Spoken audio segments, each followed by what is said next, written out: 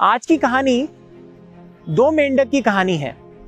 और ये जो कहानी है, वो सबको सुनानी है। आपको जान के बड़ी खुशी होगी कि खाली आपकी लाइफ में नहीं बट हम सबकी लाइफ में एक ऐसा इंसान होता है जो हमें बहुत मोटिवेट करता है। एक या दो ऐसे कई सारे लोग हो सकते हैं बट ऐसे, उससे कई ज़्यादा ऐसे लोग होते हैं जो आपको बस ये बताते हैं कि आप ये नहीं कर सकते।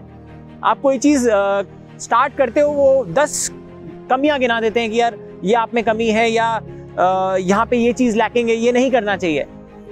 इन शॉर्ट अगर मैं इन इन इंसानों को इन लोगों को एक एक, सिंपल सा वर्ड देना चाहता हूँ एंड दैट इज़ हेटर्स है ना? They might not be haters but for simplicity let's call them haters and sometimes it is very important not to listen to haters अब ये कहानी है उन दो मेंढकों की तो एक बहुत सारे मेंढक जा रहे थे जंगल में, और जंगल में एक खड्डा था अच्छा खासा खड्डा था, जिसमें दो मेंढक गिर गए, और उन दोनों मेंढकों को, बाकी सारे मेंढक बोल रहे थे कि यार, अब तेरा बचना मुश्किल ही नहीं, नामुमकिन है। मतलब समवॉट बोल दिया गया था कि यहाँ से निकलना इम्पॉसिबल है।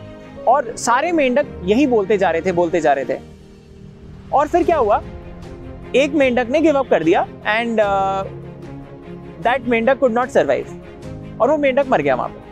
और दूसरा वाला जो मेंढक था, वो ट्राई करता रहा करता रहा करता रहा और उसके बाद वो बाहर आ गया। और आपको पता है ऐसा क्यों हुआ? क्योंकि वो मेंढक बहरा था। वो सुन नहीं सकता था। उसने ये सुना ही नहीं जो उसके हेटर्स ने कहा। हेटर्स मतलब जो इंसान आपको नेगेटिव चीज़ बोलते हैं कि आप ये नहीं कर सकते, आप मर जाओगे। आई होप आप सब लोगों ने स्टोरी से कुछ बहुत ही पॉजिटिव सीखा। और मेरी अगली कहानी में मैं बात करने वाला हूँ उन दो चूहों के बारे में। जो एक बहुत ही सिमिलर परिस्थिति में थे और वो आपको और ज़्यादा इंस्पायर करेगी। अगर आपको ये स्टोरी अच्छी लगी तो उसको ज़रूर फैलाएँ थैंक यू सो मच